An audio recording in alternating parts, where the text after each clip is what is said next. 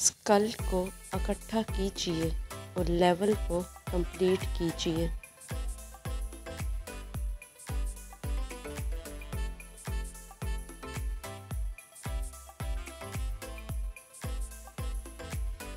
Big आइनों से fight कीजिए और विन कीजिए।